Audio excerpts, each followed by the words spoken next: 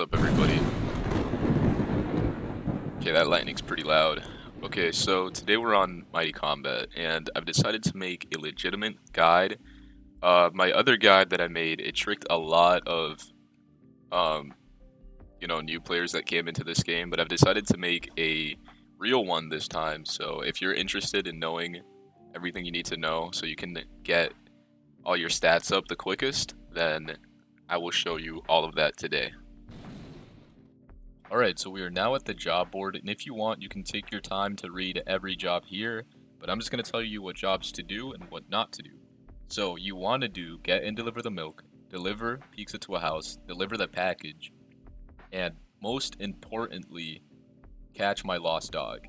So, catch my lost dog, if you're in a server and that quest gets done 15 times, a boss called Dog Overlord spawns in, and if you kill him, everybody in the server gets 15k.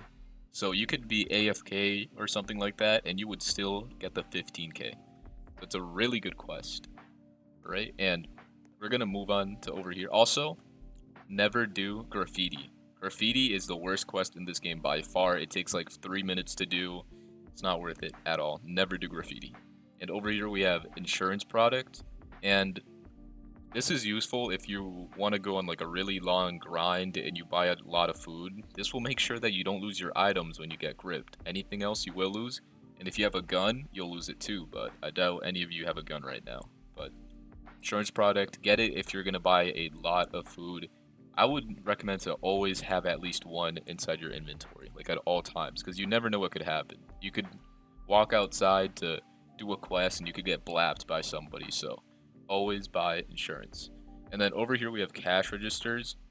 And if you're new to this game, you're not even going to want to think about these because if you're new, you're not going to do enough damage and they take like three minutes to break if you don't do enough damage. Um, for me, it takes around four combos or so, but unless you have some good strength already, do not do cash registers. And when you break a cash register, they give you 500 in-game cash. And then this NPC right here, he tells you your stats. For 100 in-game cash. Right, and then he can also transport you to rank. So ranked, if you go in ranked and you just lose, it doesn't do anything to you. So you can lose as many times as you want and nothing's going to change about your stats or cash or whatever. But if you end up winning and you get top 10, you get a crown. And if you get top 5, you get a colored crown that's way more visible to see. And the color changes if you're number 5, 4, 3, oh, so on and so on. And also, one more thing, uh, two more things actually, is if you click this button in the elevator, it can save you from uh, from death sometimes. And also, this is where people come to AFK days. Days are a currency in this game. Let me show you where you can spend them. Right here. So you can buy a style reset for 30 days, 15 premium, and over here a clan reroll, 35, 20 if you're premium. So AFKing days is a good staple of the game. You always want to be doing that. If you just got the game, I would recommend to AFK in the elevator, I'm going to show you one more time. So if you want to come AFK, just click on this button and then set up an auto clicker or something to make sure that you don't get kicked for being AFK and you'll be set. Okay, we are now at the best CEO shop, the bank. So let me get into why the bank is the most useful CEO shop. So if we walk in here, we have bank cards. So bank cards is what allows you to use the ATM. And ATM 100% you need to be using. Like, if you get gripped and you happen to have a ton of cash on you from grinding, you're going to lose a steady amount of all that cash. As you can see, I am dead broke right now. Let's ignore that. And another reason why the bank is so good is because you can rob it. And you can rob it by breaking this door, just hit it a bunch of times, and then you'll get TP'd inside the vault. And there's like this laser thing that you have to do, and all you have to do is just it's super easy. Like if you play Jailbreak and there's like the lasers that move and stuff, it's the same thing. It's super easy. And once you do the bank, you get 5k in-game cash. So always do the bank. It's up every single uh, 30 minutes, I'm pretty sure. So if you really want to grind cash the fastest, I would say server hop for Dog Overlord. Like have friends who um tell you like yo uh, Dog Overlord spawn or bank is ready, and once they tell you, just join their server and server hop for that because that is the quickest way you're gonna make cash. Now that you guys know how to make money, it's time for you to find out how to spend it all. So what you need to do is that you need to go inside Easy Cheesy, and this is the most hated CO shop. Uh, I don't know why, but every single Wave player hates it, and I'm gonna be honest, it is the best CO shop. So, what you need to do, you need to buy. Uh, usually it's 5k worth of cheesy and uh, 5k worth of seasoned chips, and I'm gonna show you exactly how to get to seasoned chips. Go over here, you click on Waku's Karate.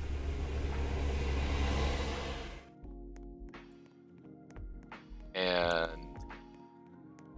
right here you have Josh, Josh's Catch and Cook, and then you just buy uh, you buy some seasoned chips. And if you right click, you buy five at a time. So if you want to see that real quick. Alright, so one thing I did forget to mention is bases. Almost forgot these existed for a sec, but I'm going to show you guys all the locations for them. I already took a base right now, and oh, I took two bases. So if you guys uh, look at my money, you can see it raise and stuff as the video goes on. You can see how much you make, and I'm going to show you guys all the four locations. So the first one is behind Job Association. Uh, second one is behind Easy Cheesy. You can see over there. Third one is at the basketball court. Right here.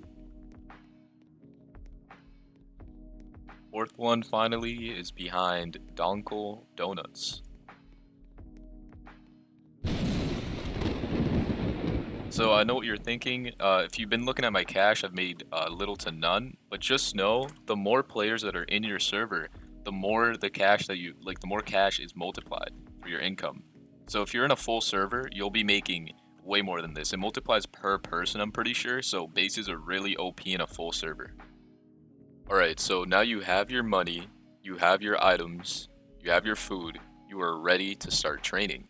So you want to come over to Waku's Karate. This is the first thing you want to train at, first place that you want to train at when um, you finally get all the things I mentioned previously. And what I do is I get this out of here and I start a little chain of seasoned cheesy and then seasoned and then cheesy and then it just goes like that. I just do that usually and then I buy boxing training. I pop a cheesy. Then I pop uh I pop boxing. I wait until my stamina is like a little bit low so yeah, I wait until my stamina is like a little bit low and then I eat a cheesy. That and then I usually just keep doing that because if you are a freshie, you're gonna punch so many times and you're just gonna run out of stamina almost instantly. So you need, uh, you need seasoned, so your stamina can keep regenning as you punch, and then you'll never run out of stamina as you do this.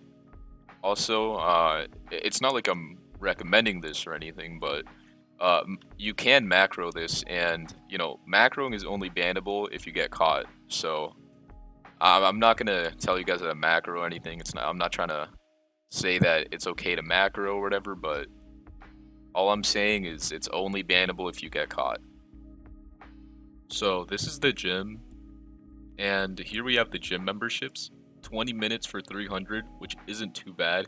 So you have to come to the gym once you get 80 kg. If you try to come here at 40 kg, which I did, it was around an hour and 30 minutes per tier and that only gets worse the higher tier you are. I was around under superb, so I would not recommend coming here if you have 40 kg unless you want to spend a ton of time sitting here in the gym. And let me just buy a pass and then we'll go in and I'll show you all the trainings. Here we have the bench press. This is to train strength. Then right here we have boxing bags. So you can buy uh, this item called boxing trainings which you'll see later in the vid, and you can bring them over here and you'll get like a slightly a slightly bigger XP buff, but this is not worth it. I did this to test it out and you still tier up the same, like, and it takes double the time because you have to keep running back. but it's a good way to train your speed at the same time as um, your strength because um, my speed did end up tearing up as well. And up here we have treadmills, and treadmills, they don't actually do anything if you didn't know. It's more like a placeholder so you, you don't macro. And speed, speed training is also stamina training. So every single time that you train your speed, you're also training your stamina. There's no other way to train your stamina except to train your speed. And here we have pull-ups. Pull-ups give endurance. And here we have the vest as well. So there's 120 kg being the highest, 80 kg being the second highest, so on and so on. And a lot of people don't know this, but you cannot put on a vest if you do not meet the requirements for it, unlike uh, Ken Omega the last thing, or two more things, a couple more things. Impact training and curls. Curls, they train your uh, combat speed. Impact training is for durability. So in this game, unlike uh, Ken Omega, this game is hit-based for impact training. So you need to find people who are weak to hit you, or else impact training is not going to be worth it. And then finally, squats, push-ups, and sit-ups. Um, pretty self-explanatory. Squats give speed and a little bit of strength. I would recommend to never do curls or squats. If you do those, you will take forever to tier up, and it's really not worth it compared to the other things that you can do. And that's about it for the gym. I hope you guys enjoyed the video. Um, I hope that the free access players, free access, yeah, free access players, hope that they have a better time on the game now that they know how to train and stuff. But if you see me in game, I'm still going to grip you, so I would recommend to run or camp inside your safe zones because just know all new players have a 20 in-game day safe zone, so just be in there and you'll be fine. Anyways, I hope you guys have a good rest of your week, and I hope you enjoyed the video.